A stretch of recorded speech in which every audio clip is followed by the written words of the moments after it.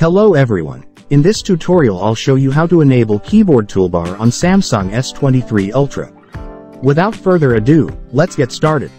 First, go to the settings. And then scroll down. Tap on General Management. Here is Samsung keyboard settings, just tap on it. And then scroll down. Under Style and Layout, you will see the keyboard toolbar setting. So, to activate it, you can enable it here. If it's done, now you can check whether the toolbar is already on your Galaxy S23 Ultra keyboard or not. If it is already activated, then above the Samsung keyboard a toolbar will appear. Just it guys, I hope this video will help you. See you in the next video, thank you.